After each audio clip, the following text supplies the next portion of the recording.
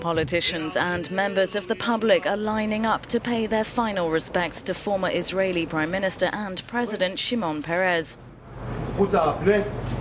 Thousands are expected to file past the casket as it lies in state at the Knesset.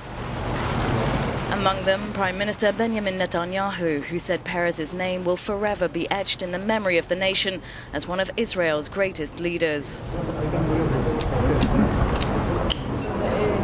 Peres, the last of the country's founding fathers and Nobel Prize winner, died on Wednesday at the age of 93 after suffering a stroke. Dozens of world leaders and public figures are expected in the capital on Friday, where he will officially be laid to rest.